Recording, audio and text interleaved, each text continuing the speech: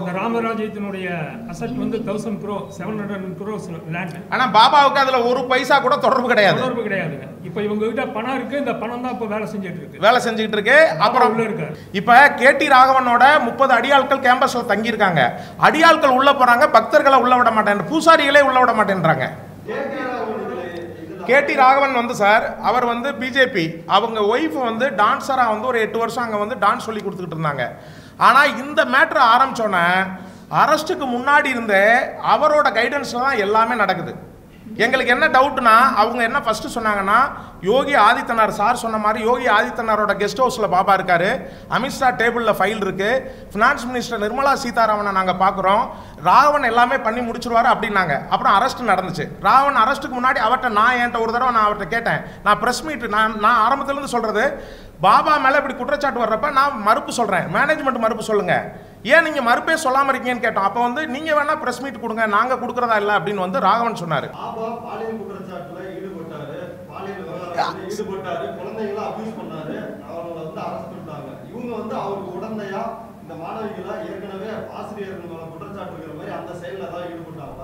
Sir அதை பத்தி எங்களுக்கு தெரியாது. அந்த குற்றச்சாட்டே பொய்ன்னு சொல்றோம். சார் அதே பொய்ன்னு சொல்றோம் சார் நாங்க. சார் அது பொய்ன்னு சொல்றோம் சார். பொய்ன்னு சொல்லலாம் நீங்க ஆமா நீங்க நீங்க உண்மைன்னு சொல்லிக்கிட்டே இருக்கீங்களா நாங்க பொய்ன்னு சொல்றோம். சார் இதை நீங்க ஆரம்பத்துல இருந்து நீங்க நெகட்டிவா தான் பேசிட்டு இருக்கீங்க. இல்ல இல்ல வழக்கோட போக்கெல்லாம் கிடையாது. நாங்க விசாரிக்க தான் சார் சொல்றோம். திசை திரும்பினா திரும்பட்டும் கூப்பிட்டு விசாரிச்சா சரி. உண்மை வரட்டுமே சார் வெளியில. உண்மை வரட்டுமே. நீங்க பொய்யவே இப்படி ஜோடிச்சுக்கிட்டே இருப்பீங்க எத்தனை நாள்? சார். இல்ல ஆமா சார். வழக்க திசை திருப்ப வழக்க திசை திரும்ப வழக்கு திசை திரும்பணும்னு தான் இவங்களை விசாரிக்க சொல்றோம் நாங்க. ஏன்னா வழக்கு வந்து ஒரே திசையில போயிட்டு இருக்கு. இன்னொரு தரப்ப நீங்க கேட்கவே மாட்டேன்றீங்களே. சுத்தி சுத்தி பாபா கிட்டே தான் வருது. ஆமா. சார் இப்ப நாங்க நான் ஒரே ஒரு கேள்வி கேட்கிறேன். இல்ல கிடையாது. கிடையாது. கிடையாது.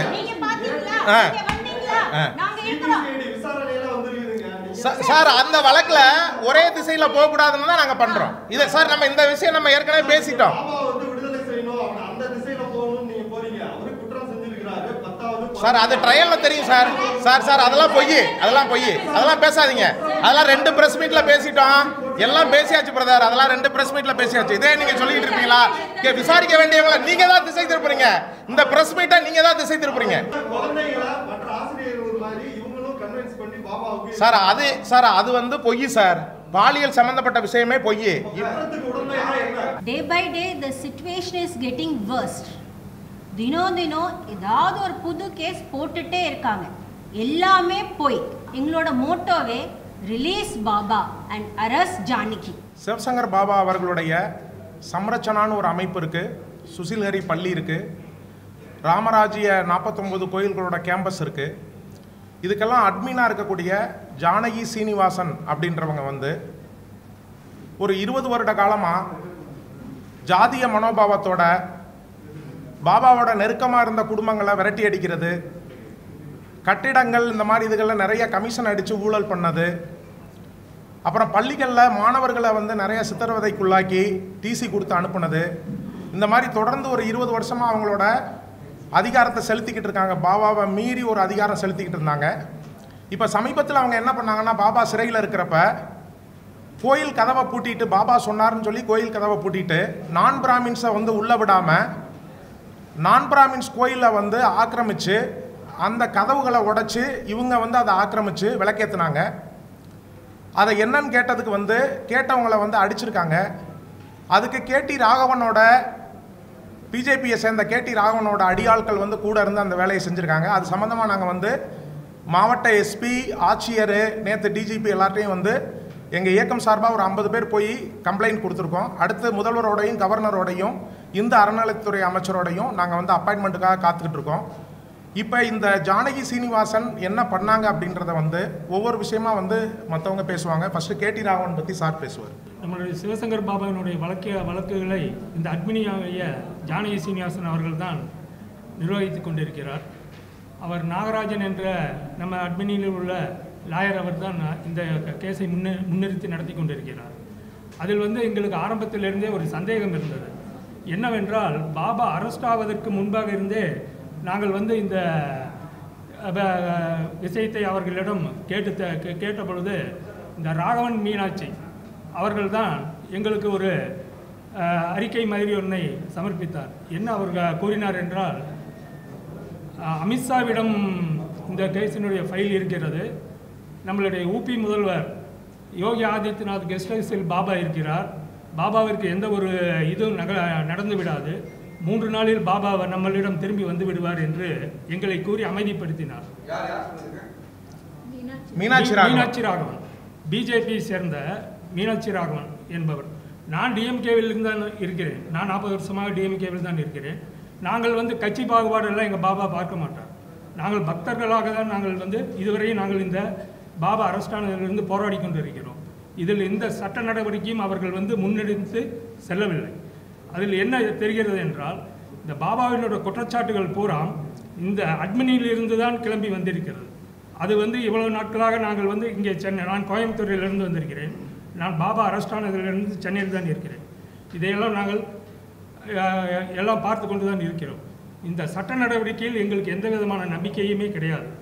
ஏனென்றால் இந்த பாபாவினுடைய வழக்குகளே வந்து பொய்யான வழக்குகளை வந்து இவர்களால் ஜோடிக்கப்பட்டது என்று தான் நாங்கள் இப்போ அறி அறிந்திருக்கிறோம்.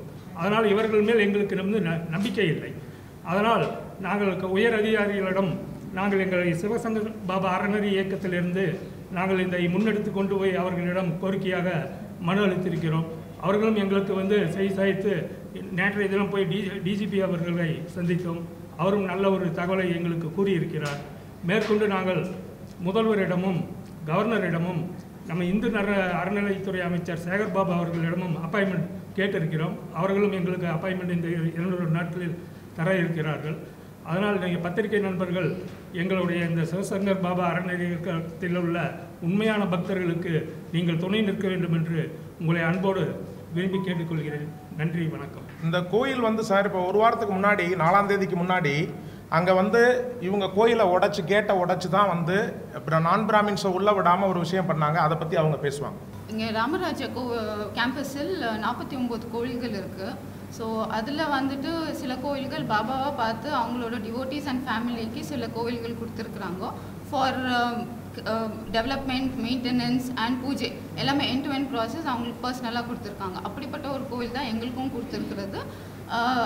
குஹை நம நம சிவாயர்ன்னுட்டு சி சித்தி புத்தி விநாயகரோட சிவலிங்கமும் இருக்கிற அந்த கோவில் அது it's a cave theme temple மெடிடேஷனுக்காக வந்துட்டு அந்த கோவிலை நாங்கள் ப பராமரிச்சுட்டு வந்துட்டு இருக்கோம் நாங்கள் அது மண்டே ஒரு நாள் வந்துட்டு நாங்கள் நாங்கள் பூஜை சாமானெல்லாம் எடுத்துக்கிட்டு நாங்கள் உள்ளே போகும்போது மெயின் கேட் க்ளோஸ் ஆயிருந்தது எந்த ரெஸ்பான்ஸுமே இருக்கல பேக் கேட்டுக்கு வந்து கணேஷ்புரி கேட்டில் கேட்டு பார்த்தோம் அவங்க கொஞ்ச நாள் வெயிட் பண்ண சொன்னாங்க.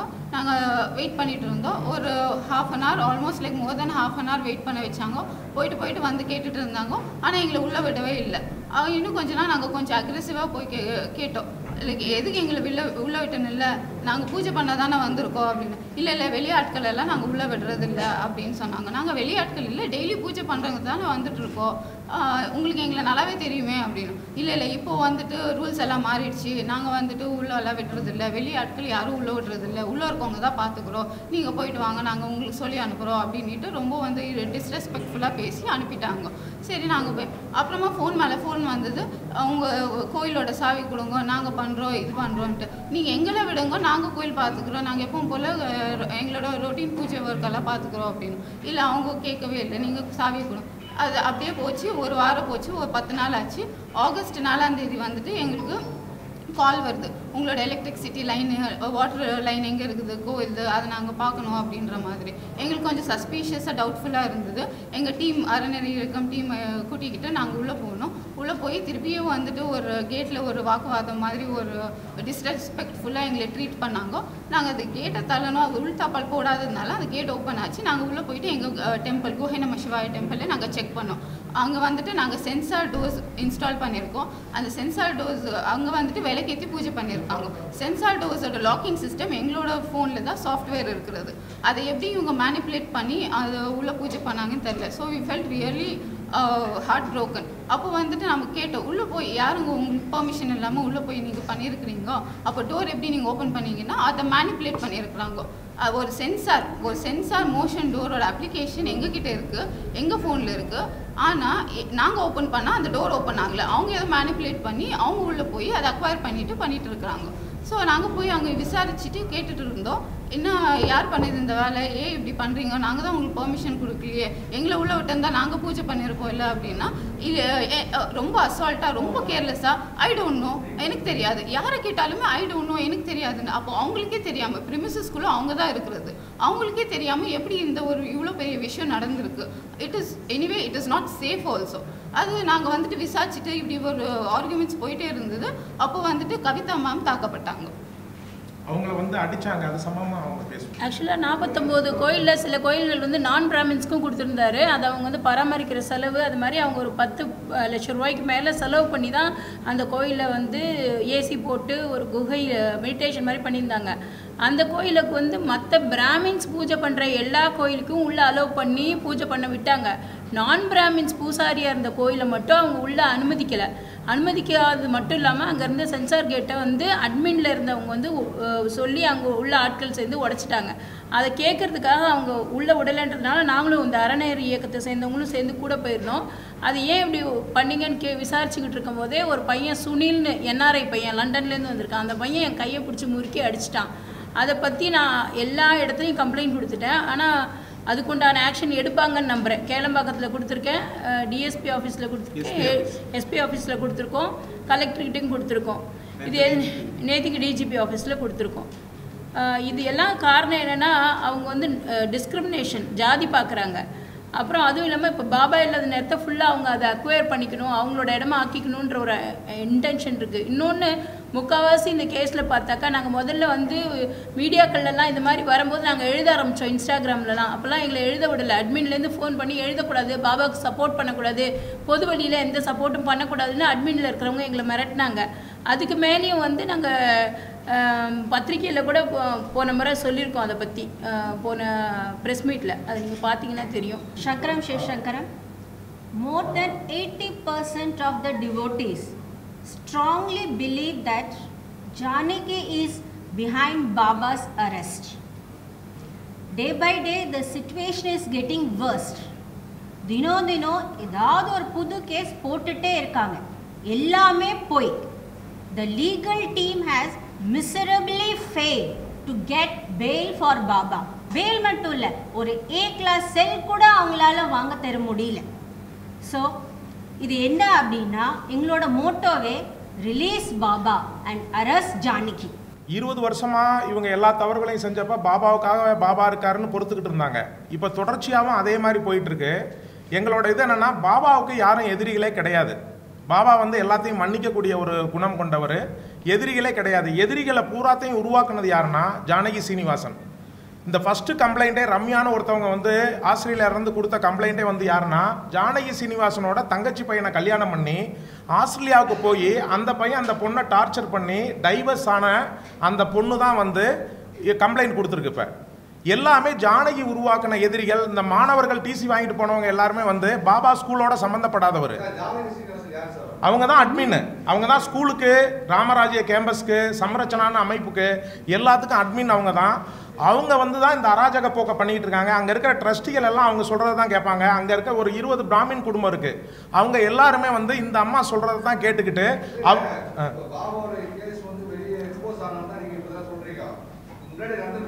இதெல்லாம் முன்னாடி இருபது வருஷம் நடந்ததுனால தான் இவ்வளவு எதிரிகள் உருவாயிருக்காங்க. இப்போ அந்த எதிரிகள் தான் கம்ப்ளைண்ட் கொடுத்துருக்காங்க. ஆனால் அந்த பாபாவோட எதிரிகள் கிடையாது. எங்களோட பாயிண்டே அதான். இந்த ஜானகி செஞ்ச தவறுகள்னால உருவான ஜானகி டீம் செஞ்ச தவறுகள்னால உருவான எதிரிகள். அவங்க இப்போ கம்ப்ளைண்ட் கொடுத்துருக்காங்க. இப்போ எங்களுக்கு என்ன டவுட்னா இந்த கம்ப்ளைண்ட் இந்த இதுக்கு எல்லாத்துக்கும் பின்னாடி ஜானகியே இருப்பாங்களோன்னு எங்களுக்கு டவுட்டாக இருக்குது ஏன்னா பாபா ட்ரஸ்ட்டில் மெம்பர் கிடையாது. பேங்க் அக்கௌண்ட் கூட கிடையாது. கார் வச்சுருக்க மாட்டார் செல்ஃபோன் கூட அவர் கிடையாது. ட்ரஸ்ட்டில் இவங்க தான் மெம்பரு இவங்க குரூப்பில் தான் இந்த சொத்து பணங்கன்னா எல்லாமே இருக்குது இப்போ கேடி ராகவனோட முப்பது அடியாட்கள் கேம்பஸில் தங்கியிருக்காங்க. அடியாட்கள் உள்ளே போகிறாங்க பக்தர்களை உள்ளே விட மாட்டேன் பூசாரிகளே உள்ள விட மாட்டேன்றாங்க. இது இப்போ எங்களுக்கு என்ன டவுட் வருதுன்னா இதுக்கு பின்னாடி வந்து இவங்களே இருப்பாங்களோ அப்படின்னு எங்களுக்கு ஒரு டவுட் வருது. ஏன்னா ஆரம்பத்துலேருந்து எங்களை மறுப்பு சொல்ல விடலை. இருபது நாள் கழித்து ஃபோக்ஸோ போட்டோன்னே என்னோட ஃபஸ்ட்டு ப்ரெஸ் மீட் தான் மறுப்பாகவே வந்தது.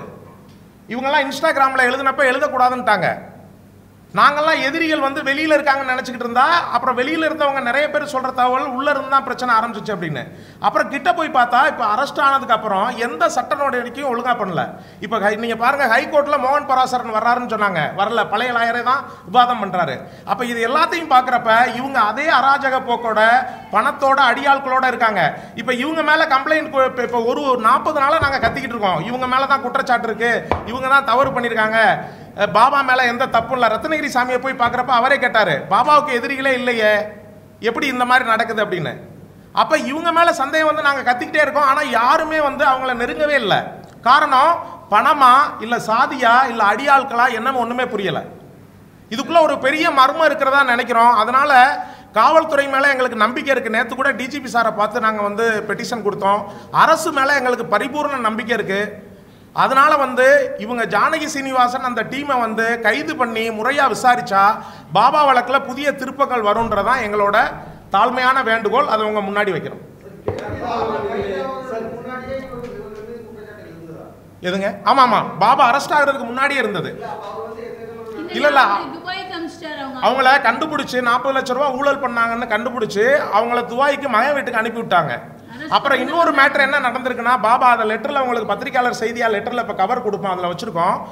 பாபா வந்து என்ன பண்ணாருன்னா இந்த ஜானகி டீமை தூக்கிட்டு இருபத்தோரு பேர் யங்ஸ்டர் கொண்ட ஒரு கமிட்டி போட்டிருக்காரு ரீசெண்டாக கமிட்டி போட்டப்ப இந்த அங்க உள்ள இருக்கிற குடும்பங்கள் ஜானகி ஆதரவாளர்கள் அவர்கிட்ட போய் வாக்குவாதம் பண்ணியிருக்காங்க ஜானகி இல்லாம நாங்க எதுவுமே பண்ண முடியாது அப்படின்னு. அதுக்கப்புறம் பாபா வந்து இந்த சம்பவங்களுக்கு எல்லாம் சேர்த்து பார்க்குறப்ப ஜானகி எல்லாரையும் தூக்கிட்டு பாபா புது கமிட்டி யங்ஸ்டர்ஸோட போட்டிருக்காரு. அந்த கமிட்டியில் நான் பிராமின் இருந்திருக்காங்க. அதில் இருந்த நான் பிராமின் பேர்களை எல்லாம் சொல்லி இவங்கெல்லாம் அதுக்குள்ளே வரக்கூடாது. அப்படின்னு எல்லாமே சொல்லி அந்த கோபத்தில் தான் இவங்க ஒரு நாற்பது லட்ச ரூபா பணம் அடிச்சிட்டாங்கன்னு சொல்லி பாபா கண்டுபிடிச்சு துபாய்க்கு அனுப்பினதான் ஒரு தகவல் வருது. இந்த தகவலின் அடிப்படையில் பார்க்குறப்ப இவங்க எல்லாத்துக்கும் பின்னாடி இருப்பாங்களோன்னு எல்லாருமே ஒரு தொண்ணூறு சதவீத பக்தர்கள் வந்து நம்புகிறாங்க கேடி ராகவன் வந்து சார் அவர் வந்து பிஜேபி. அவங்க ஒய்ஃப் வந்து டான்ஸராக வந்து ஒரு எட்டு வருஷம் அங்கே வந்து டான்ஸ் சொல்லி கொடுத்துக்கிட்டு இருந்தாங்க. ஆனால் இந்த மேட்ரு ஆரம்பிச்சோன்னே அரெஸ்ட்டுக்கு முன்னாடி இருந்தே அவரோட கைடன்ஸில் தான் எல்லாமே நடக்குது. எங்களுக்கு என்ன டவுட்னா அவங்க என்ன ஃபஸ்ட்டு சொன்னாங்கன்னா யோகி ஆதித்யநாத் சார் சொன்ன மாதிரி யோகி ஆதித்யநாதோட கெஸ்ட் ஹவுஸில் பாபா இருக்காரு. அமித்ஷா டேபிளில் ஃபைல் இருக்கு. ஃபினான்ஸ் மினிஸ்டர் நிர்மலா சீதாராமனை நாங்கள் பார்க்குறோம் ராவன் எல்லாமே பண்ணி முடிச்சிருவாரு அப்படின்னாங்க. அப்புறம் அரெஸ்ட் நடந்துச்சு. ராவன் அரெஸ்ட்டுக்கு முன்னாடி அவர்கிட்ட நான் என்கிட்ட ஒரு தடவை நான் அவர்கிட்ட கேட்டேன். நான் ப்ரெஸ் மீட் நான் நான் ஆரம்பத்துலேருந்து சொல்கிறது பாபா மேலே இப்படி குற்றச்சாட்டு வர்றப்ப நான் மறுப்பு சொல்கிறேன் மேனேஜ்மெண்ட் மறுப்பு சொல்லுங்கள் ஏன் நீங்கள் மறுப்பே சொல்லாமல் இருக்கீங்கன்னு கேட்டோம். அப்போ வந்து நீங்கள் வேணால் ப்ரெஸ் மீட் கொடுங்க நாங்கள் கொடுக்குறதா இல்லை அப்படின்னு வந்து ராகவன் சொன்னார்.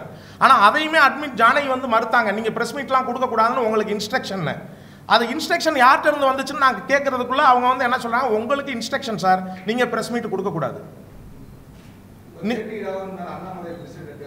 இல்லை அவருக்கு நாங்கள் ஏழு பேருக்கு கம்ப்ளைண்ட் கொடுத்துருக்கோம் சார் அவர் மேலே கம்ப்ளைண்ட் எஸ்பி ஆஃபீஸ்லேருந்து எல்லாம் கொடுத்துருக்கோம்.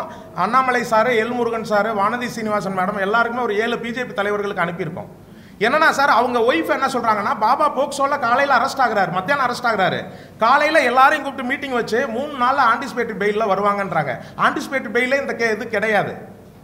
இப்படியா வரிசையா பொய் சொல்லி பொய் சொல்லி இவங்க எல்லாரும் சேர்ந்து பாபாவை சிக்க வச்சிருப்பாங்களோன்னு எங்களுக்கு தோணுது. அப்புறம் கேடி ராகவனுடைய அடியாட்கள் முப்பது பேர் பவுன்சர்ஸோட சேர்ந்து அந்த கேம்பஸ்ல இருக்காங்க ஜானகிக்கு சார் அவங்களும் ஜானகி ரொம்ப பக்கத்துணையா ஒன்னா சேர்ந்து இருக்காங்க ஜாதி ஐயரு ரெண்டு பேரும் இல்லை அது மட்டும் இல்லை அவங்களுக்கு வந்து சார் வேற உள்நோக்கங்கள் இருக்க வாய்ப்பு இருக்குது சார். அதை பற்றி நாங்கள் வந்து யூகமாக தான் சொல்ல முடியும். அதனால் நான் இங்கே யூகத்தை சொல்லலை. எங்களுக்கு என்ன சந்தேகம் இருக்குன்னா ஜானகிக்கு பக்கபலமாக இருக்கிறது ராகவன்.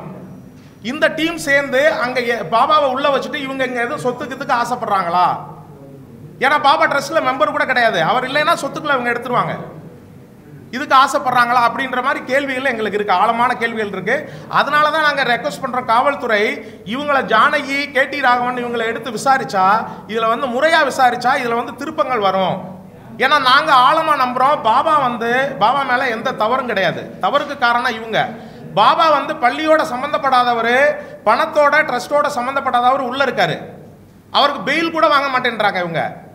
ஆனால் இவங்க எல்லாருமே வந்து காசை வச்சுக்கிட்டு அடியால வச்சுக்கிட்டு இங்கே உட்காந்துருக்காங்க இவங்க கிட்ட யாருமே நெருங்க முடியல. நாங்கள் கத்தா ஒரு நாற்பது நாளைக்கு மேலே வந்து நாங்கள் கத்திக்கிட்டு இருக்கோம் வீடியோ போடுறோம் அரஸ்ட் ஜானிங்கன்னு கேம்பெயின் நடத்துகிறோம் எஸ்பி சார் கொடுத்தோம் எஸ்பி சார் வந்து விசாரணைக்கு விசாரணை கூப்பிட்டே வரல. அப்புறம் ஏடிஎஸ்பி சார் வற்புறுத்தி சொன்னதுக்கப்புறம் தான் வந்தாங்க. அப்புறம் அவங்க ரெண்டு தரப்பை எழுதி கொடுத்துட்டு போக சொன்னாங்க. அதுக்கப்புறம் மாவட்ட கலெக்டர்கிட்ட ஐம்பது பேர் போய் மனு கொடுத்தோம். ஐம்பது பேரும் தனித்தனியாக மனு எழுதி மொத்தமாக வச்சு கொடுத்தோம். அப்புறம் டிஜிபி சாரை நேற்று பார்த்தோம். இப்போ வந்து சிஎம் அப்பாயின்மெண்ட்டுக்காக அனுஜார்ஜ் மேடத்தோட பிஏட்டை வந்து கொடுத்துருக்கோம். கவர்னரை பார்க்க போகிறோம் இது வந்து சார் எங்கிட்ட பணம் கிடையாது. நாங்கள் வந்து நியாயமாக வந்து ஒரு இதுக்காக போராடுறோம். நாங்கள் வந்து நான் அஞ்சு வருஷம் ஆகுது இவங்கலாம் இருபத்தஞ்சு வருஷம் முப்பது வருஷமாக அங்கே இருக்காங்க பக்தர்களா? அப்படின்றப்ப நாங்கள் ஒரு நியாயமான கோரிக்கைக்காக போராடுறோம். எங்கிட்ட உண்மை இருக்குன்னு சத்தியம் இருக்குன்னு நாங்கள் நம்புகிறோம் அதனால நாங்கள் போராடுறோம். நீங்கள் எல்லாரும் எங்களுக்கு வந்து ஆதரவு கொடுக்கணும். நாங்கள் பொதுவெளியில் நாங்கள் உயிரை கொடுக்க கூட தயாராக இருக்கோம் சார். அது எல்லாமே ஜோடிக்கப்பட்டது. இவங்க இவங்ககிட்ட இருந்து தான் ஆரம்பிச்சிருக்கு. இவங்க தான் சார் ஆரம்பிச்சிருக்காங்க.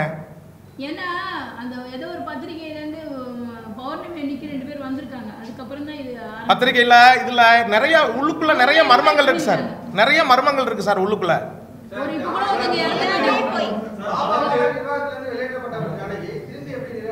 சார் இந்த இந்த கேஸ் வந்துச்சு இல்லையா? வரலங்க. அவங்களுக்கு துபாயில இருந்தாங்க இந்த கேஸ் வந்தோடனே வந்து கேஸ் வந்தோடனே கிளம்பி வந்தாங்க. இப்- இல்ல இல்ல அரெஸ்ட்டுக்கு முன்னாடியே கிளம்பி வந்துட்டாங்க இங்க. அவரோட அவர் மேல இருக்கிற குற்றச்சாட்டுகள் அடிப்படையில தான் வந்து இப்ப ஜாமீன் மறுத்துட்டு இருக்காங்க ம். அவரே வந்து விசாரணையில ஒத்துக்கிட்டாரு அப்படின்னு சொல்றாங்க. இல்ல சார் இல்ல சார் இல்ல சார். ஆ. ம் ம். சொல்றாங்க. ம். குற்றப்பத்திரிகை ஃபர்ஸ்ட் ஆமா, ஆமா. குற்றப்பத்திரிகை தாக்கல் செஞ்சுட்டாங்க. ம். இப்படி இருக்கும் பொழுது நீங்க வந்து இப்ப இந்த ஒட்டுமொத்த பிரச்சனையே திசை திருப்புறமா ஆ. பேசுறது எப்படி இல்ல சார்? நாங்க திசை திருப்பல. வழக்க பாபா மேல உள்ளதை விசாரிக்கட்டவங்க. வ- வழக்குக்கு உடந்தையா இருந்தாங்கல்ல இவங்க தானே மெயின் அட்மின் இவங்க தெரியாமல் எப்படி சார் ஸ்கூலில் நடக்கும்? பாபாவுக்கும் அவருக்கும் ஸ்கூலுக்கே சம்மந்தம் இல்லை இவங்க அட்மின்ட்ட யாருமே நீங்கள் நெருங்கவே இல்லை. விசாரிக்கலை ட்ரஸ்ட்டை விசாரிக்கலை. ஸ்கூலில் டீச்சர்ஸ்க்கு மட்டும் கொஞ்சம் பேத்த மட்டும் விசாரிச்சிருக்காங்க. இந்த அம்மாவை கைது பண்ணி விசாரிக்காமல் பாபா வழக்கு இருக்கட்டும். அவர் மேலே குற்றச்சாட்டு இருக்கட்டும். அது ட்ரையலில் தெரியட்டும். ஆனால் இவங்களை கையே வைக்கலையே. இவங்க தானே எல்லாத்துக்கும் பொறுப்பு. அவர் பொறுப்பே இல்லை அவர் கோயிலுக்கு மட்டும் தானே வருவார். ஆ? சார் இவங்க தான் சார் அதை அப்படி பண்ணியிருக்காங்க. இப்போ பாபாவை ஆமாம் ஆமாம் ஆ. ஆமாம் சார் அதுதான் சார் நாங்கள் கேட்குறோம் இவங்கள விசாரிங்க சார் அப்போ தான் தெரியும். ஏன்னா பிஜேபி பிஜேபி கட்சியை நான் சொல்ல மாட்டேன். ராகவன் வந்து ஃபுல் பேக்கப்பில் சப்போர்ட் பண்ணுறாரு நாங்கள் என்ன கேட்குறோன்னா பாபாவுக்கு இருபது நாளில் வீடியோ போட்டு அவர் அரெஸ்ட் பண்ணுறீங்கல்ல நாங்கள் நாற்பது நாள் எல்லாம் கத்திக்கிட்டு இருக்கோம் ப்ரெஸ்ஸில் எல்லாருக்கும் போகிறோம் இந்த அம்மா கிட்டேயே ஏன் நெருங்கலை? எதனால நெருங்க முடியல? ஈடுபட்டாரு. குழந்தைகளை அபியூஸ் பண்ணாரு. அவங்களை வந்து அரசு இவங்க வந்து அவருக்கு உடந்தையா இந்த மாணவிகளை ஏற்கனவே ஆசிரியர்கள் மேல குற்றச்சாட்டு இருக்கிற மாதிரி அந்த செயல்ல தான் ஈடுபட்டாங்களா? சார் அதை பற்றி எங்களுக்கு தெரியாது. அந்த குற்றச்சாட்டே பொய்ன்னு சொல்கிறோம் ஆனால் இவங்க டிசி கொடுத்து அனுப்பியிருக்காங்க. சார் சார் போலீஸு சார் நாங்கள் சொல்கிறோம் சார். போலீஸ் வந்து எங்கள் கருத்தையும் கவனத்தில் எடுத்துக்கிட்டு எல்லா தரப்பையும் விசாரிக்கட்டும்னு தான் நாங்கள் ரெக்வஸ்ட் பண்ணுறோம் இப்போ வந்து சார் சார் டிசி கொடுத்து அனுப்புனது இந்த அம்மா. எல்லாருக்கும் அமிர்தா பாலாஜிலேருந்து ஆசிஃப்லேருந்து எல்லாருக்கும் கொடுத்து அனுப்புனது இந்த அம்மா. பல குடும்பங்களை ரம்யா குடும்பத்து மாதிரி பல குடும்பங்களை விரட்டி அடிச்சது இந்த அம்மா. இப்போ வரையும் ஜாதி பார்த்துக்கிட்டு வந்து டிஸ்கிரிமினேட் பண்ணிக்கிட்டு இருக்காங்க. கோயில் கேட்டை உடைக்கிறாங்க. இவங்க வந்து இருபது லட்ச ரூபா போட்டு கட்டின கோயிலோட கேட்டை சென்சார் கேட்டை உடைச்சிட்டு போகிறாங்க தட்டி கேட்டை இவங்களை அடிக்கிறாங்க. அடியாட்கள் முப்பது பேர்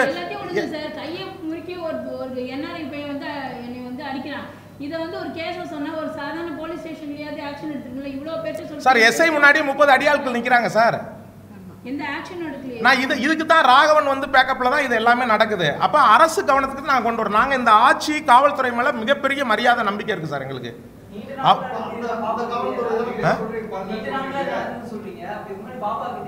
சார் பாபாவுக்கு தெரிஞ்சு பலமுறை இந்த அம்மா வெளியில் அனுப்பியிருக்காரு சார். திரும்ப திரும்ப இந்த கும்பல் வந்து உள்ள சுத்திக்கிட்டே இருக்கு. இப்போ பார்த்தீங்கன்னா நாளைக்கு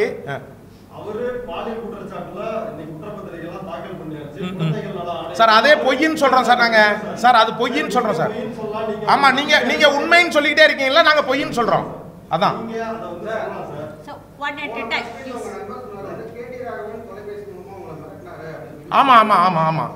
சார் கிரிமினல் கேஸ் கொடுப்பேன்னு மிரட்டினார் சார் என்னைய தனிப்பட்ட முறையில். நான் சொன்னேன் நீங்கள் என்ன வேணாலும் கொடுங்க நான் ப்ரெஸ் மீட் கொடுக்குறேன்னு சொல்லி தான் ரெண்டாவது ப்ரெஸ் மீட்டை கொடுத்தேன். என்னை மட்டும் இல்லை அந்த ரெண்டாவது ப்ரெஸ் மீட் கொடுத்த ரமேஷையுமே மிரட்டினார்.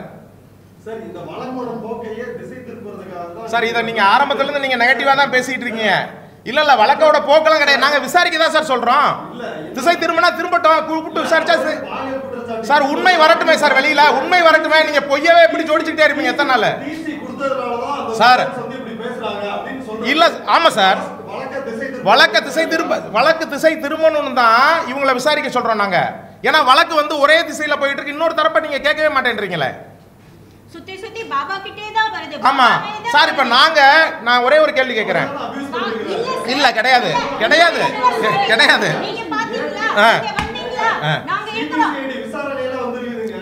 சார் அந்த வழக்குல ஒரே திசையில போக கூடாதுன்னு தான் நாங்க பண்றோம். இதை சார் நம்ம இந்த விஷயம் நம்ம ஏற்கனவே பேசிட்டோம் பாபாவை வந்து விடுதலை செய்யணும் அப்படி அந்த திசையில போகணும்னு நீங்க போறீங்க அவரு குற்றம் செஞ்சிருக்கிறாரு பத்தாவது சார் அது ட்ரையலில் தெரியும் சார். சார் சார் அதெல்லாம் பொய் அதெல்லாம் பொய் அதெல்லாம் பேசாதீங்க. அதெல்லாம் ரெண்டு ப்ரெஸ் மீட்டில் பேசிட்டோம். எல்லாம் பேசியாச்சு பிரதர் அதெல்லாம் ரெண்டு ப்ரெஸ் மீட்டில் பேசியாச்சு. இதே நீங்கள் சொல்லிட்டு இருக்கீங்களா? விசாரிக்க வேண்டியவங்கள நீங்கள் தான் திசை திருப்புறீங்க. இந்த ப்ரெஸ் மீட்டை நீங்கள் தான் திசை திருப்புறீங்க. இந்த பிரஸ் மீட்டை நீங்க திசை திருப்புறீங்க. இந்த பிரஸ் மீட்டை திசை திருப்புறீங்க. ஜானகியை விசாரிங்க அவ்வளவுதான். நன்றி வணக்கம். இந்த பிசை இந்த நாங்க கேட்குறது என்னன்னா வழக்கு ட்ரையல்ல வருங்க. பாபா தப்பு பண்ணாரா இல்லையான்னு அங்க தெரியும். தப்புக்கு உடந்தையா இருந்து அ- பொறுப்புல அட்மினா இருக்கிற பாபா கோயிலுக்கு தான் வந்துட்டு போவாரு. அட்மினா இருக்கிற பொறுப்பாளரை விசாரிங்கன்னு சொல்றோம் அதை ஏன் நெருங்கவே மாட்டேங்குது? குழந்தைகளை குழந்தைகளை மற்ற ஆசிரியர்கள் மாதிரி இவங்களும் கன்வின்ஸ் பண்ணி பாபாவுக்கு சார் அது சார் அது வந்து பொய் சார் பாலியல் சம்பந்தப்பட்ட விஷயமே பொய். குற்றத்துக்கு உடந்தையா என்ன குற்றத்துக்கு உடந்தைனா அந்த இவங்களை டிசி கொடுத்து அனுப்புனது? சார் அது அவங்ககிட்ட தான் கேட்கணும். விசாரணையில தான் கேட்கணும். கேடி ராகவன் உள்ளே தான் சார் இருக்காரு. சார் உள்ளேயே இருக்காரு கேடி ராமன் உங்க நடத்தாருன்னு சொல்றீங்க ஆ. ஆடியோ இருக்கு. இல்லை சார் அது எல்லாமே வந்து கம்ப்ளைண்ட்டாக கொடுத்துருக்கோம் நம்ம. சிசிடிவி. சார், இல்ல அது அவங்ககிட்ட சிசிடிவி வீட்டுக்கு மேலே பொருத்திருக்காங்க. அவங்க கேம்ப அந்த கேம்பஸ்குள்ள தானே அவங்க குடியிருக்காங்க. நாங்கள் வெளியில இருந்து தானே போகிறோம் சார் நாங்கள் உண்மையை எங்கள் பக்கம் இருக்க சத்தியத்தை சொல்கிறோம் சார். உங்களுக்கு சந்தேகம் இருந்தால் திரும்ப திரும்ப நீங்கள் கேள்வி கேளுங்க அசெட் எவ்வளவு அசெட் ஒர்த்து பாபாவோட ப்ராப்பர்ட்டி சார் அது ஒரு அறுபது எழுபது ஏக்கர் ப்ராப்பர்ட்டி சார் அது. ஒரு நாற்பத்தொம்பது கோயில் இருக்கு ஸ்கூல் ரெண்டு கட்டடம் இருக்கு ஸ்கூல் கட்டடம் இருக்கு. அதுக்கு பக்கத்திலே ஒட்டி குடியிருப்புகள் இருக்கு. அவங்க இந்த இவங்க கணேஷ் இல்லை சார் கேளம்பாக்கத்தில் மட்டும்தான் அவருக்கு ப்ராப்பர்ட்டி சார் சார் டோட்டலாக தௌசண்ட் க்ரோ சார். அந்த ராமராஜ்யத்தினுடைய அசட் வந்து thousand crore seven hundred crores land ஆனால் பாபாவுக்கு அதில் ஒரு பைசா கூட தொடர்பு கிடையாது. தொடர்பு கிடையாதுங்க இப்போ இவங்க கிட்ட பணம் இருக்கு இந்த பணம் தான் இப்போ வேலை செஞ்சுட்டு இருக்கு. வேலை செஞ்சுக்கிட்டு இருக்கு அப்புறம் உள்ள இருக்காரு. அதான் இப்போ பாபா வெளியே வந்து ஒரு ஸ்டேட்மெண்ட் கொடுத்தா எல்லாமே இப்போ பாபா வெளியில வருவாரான்னு எங்களுக்கு சந்தேகமா இருக்கு. பாபா வெளியில அவங்க வர விடுவாங்களான்னு எங்களுக்கு சந்தேகமா இருக்கு. அதான் உண்மையிலேயே ஆழமா இருக்கிறது. அதை நான் சொல்லக்கூடாதுன்னு நினைச்சேன் சொல்லிட்டேன். நன்றி வணக்கம்.